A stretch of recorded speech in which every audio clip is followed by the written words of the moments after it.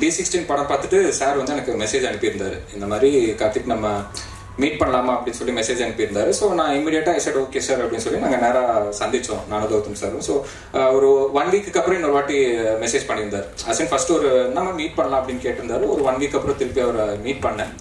Meet பண்ணப்போ Karthik you have anything in மைண்ட்னா நீங்கள் சொல்லுங்கள் கன்ஃபார்மாக நம்ம வந்து சேர்ந்து பண்ணலாம் அப்படின்னாரு.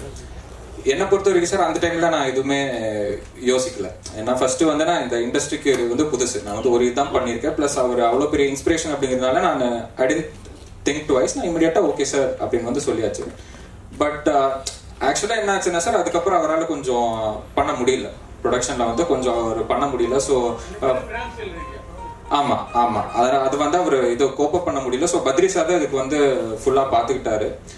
அண்ட் அது வந்து சார் யூஸ்வலா நமக்கு யாராச்சும் பிடிச்சவங்க நமக்கு வந்து ஏதாச்சும் பண்ணாதான் நமக்கு இன்னும் கோர் ஜஸ்ட் அந்த மாதிரியான ஒரு ஒரு ஒரு நார்மலான ஒரு அவுட் பஸ் தான். ஸோ அதை தாண்டி அதை ஒன்றும் கிடையாது. ஸோ இது என்னன்னா இது விஷயமா சில அந்த பேச்சுவார்த்தைகள் வந்து போயிட்டு இருக்கு கவுன்சில ஸோ அதுக்கு முன்னாடி நான் பத்தி கமெண்ட் பண்ண வேணாம்னு பார்க்குறேன் ஸோ ஜென்ரலா இதுதான்.